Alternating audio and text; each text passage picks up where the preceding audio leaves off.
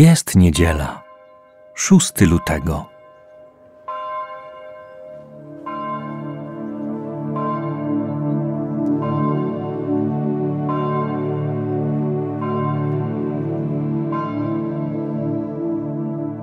Jezus podczas dzisiejszej modlitwy chce usiąść w Twojej łodzi. Posłuchaj, co ma Ci do powiedzenia.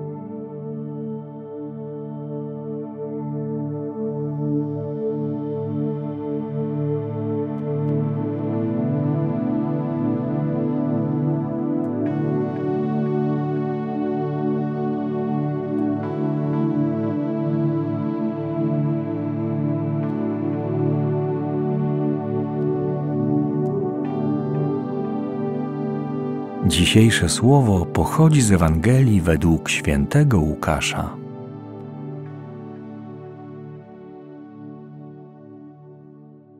Pewnego razu, gdy tłum cisnął się do Jezusa, aby słuchać słowa Bożego, a on stał nad jeziorem Genezaret, zobaczył dwie łodzie stojące przy brzegu.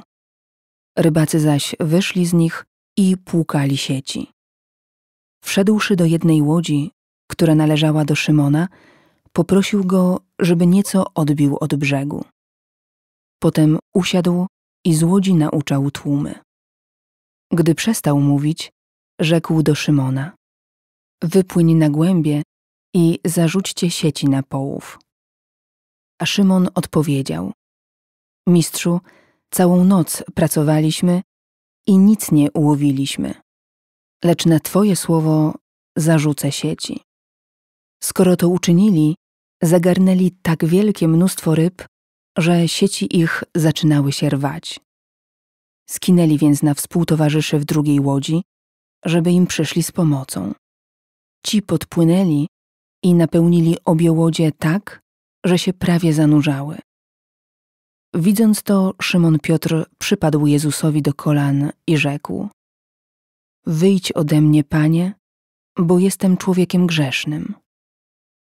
I jego bowiem i wszystkich jego towarzyszy w zdumienie wprawił połów ryb, jakiego dokonali.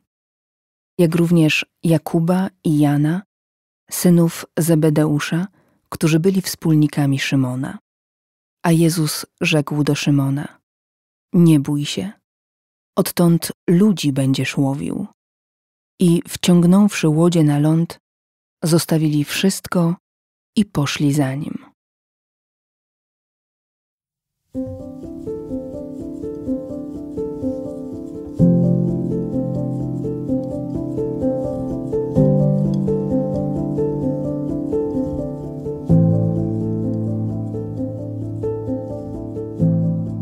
Prośba Jezusa jest dość zaskakująca. Mało tego, zdaje się nieracjonalna, a wręcz bezsensowna. Naturalną reakcją Piotra jest jej podważenie. Nie potrzebuje jednak dużo czasu, żeby zmienić zdanie. Okazuje się, że z tej prośby wynika więcej niż mu się wydawało na początku budzi w Piotrze potrzebę odpowiedzi, popycha jego serce do działania. Kiedy ostatnio poszedłeś za porywem serca?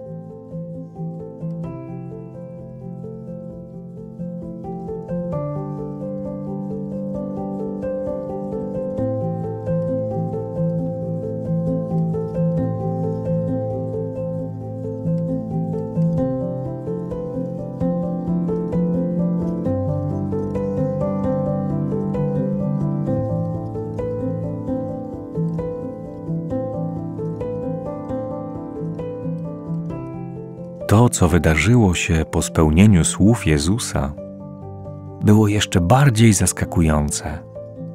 Przerosło oczekiwania Piotra. Na szczęście byli z nim towarzysze, jego wspólnota. Łaska, którą daje nam Bóg, często nas przerasta, rozlewa się na naszych bliskich. Decyzje pojedynczego człowieka mają swoje konsekwencje dla życia Kościoła. Bóg zaprasza Cię, żebyś był narzędziem Jego miłości. Na ile doświadczasz w swoim życiu wspólnoty, która pomaga Ci czynić dobro i podtrzymuje w trudnościach, w której możesz dzielić się otrzymaną od Boga miłością.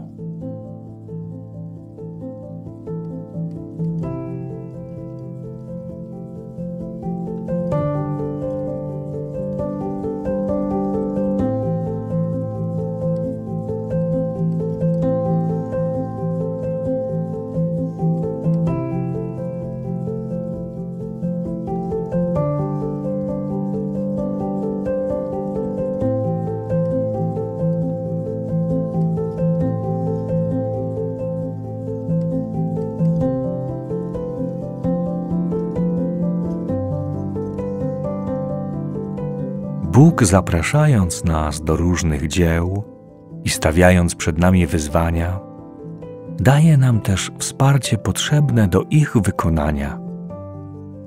Wielu z nas bądź naszych bliskich rozpoczyna ferie, urlopy, a część zaczyna nowy semestr, może nową pracę. Słuchając kolejny raz Ewangelii, uświadom sobie, że do wszystkich stojących przed Tobą wyzwań przychodzi Jezus i powtarza słowa, które powiedział uczniom: Nie bój się.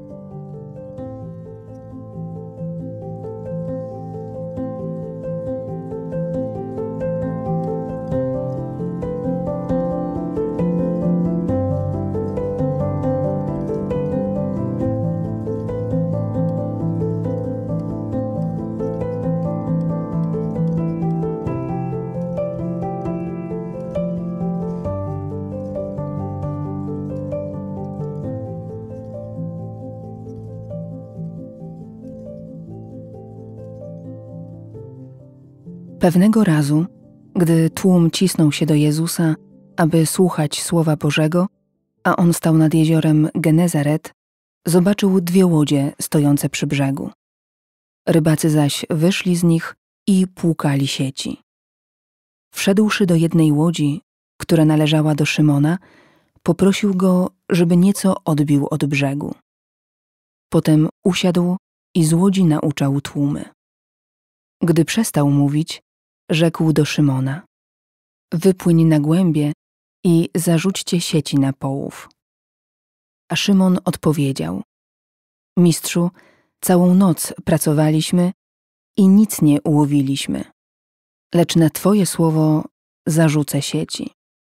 Skoro to uczynili, zagarnęli tak wielkie mnóstwo ryb, że sieci ich zaczynały się rwać. Skinęli więc na współtowarzyszy w drugiej łodzi, żeby im przyszli z pomocą. Ci podpłynęli i napełnili obie łodzie tak, że się prawie zanurzały.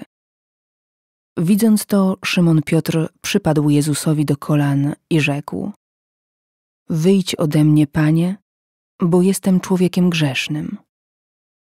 I jego bowiem i wszystkich jego towarzyszy w zdumienie wprawił połów ryb, jakiego dokonali jak również Jakuba i Jana, synów Zebedeusza, którzy byli wspólnikami Szymona. A Jezus rzekł do Szymona: Nie bój się, odtąd ludzi będziesz łowił. I wciągnąwszy łodzie na ląd, zostawili wszystko i poszli za nim.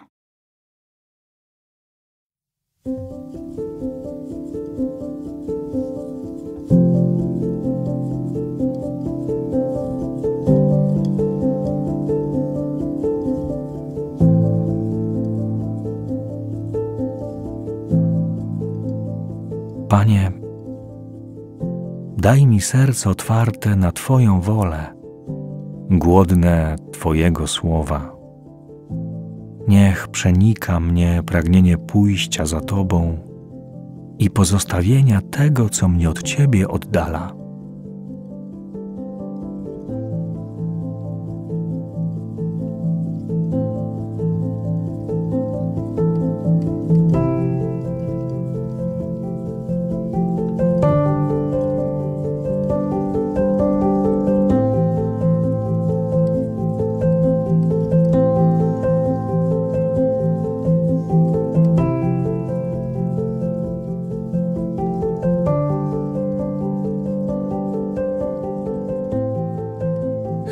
Ojcu i Synowi i Duchowi Świętemu, jak była na początku, teraz i zawsze, i na wieki wieków. Amen.